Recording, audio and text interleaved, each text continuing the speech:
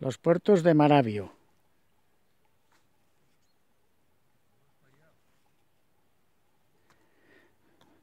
Marcelino y Juan.